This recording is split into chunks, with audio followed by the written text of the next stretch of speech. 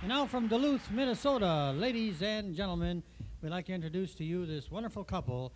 Just came back from the West Coast where they had a very successful tour of Washington, Idaho, Montana, of course, out in North Dakota and South Dakota.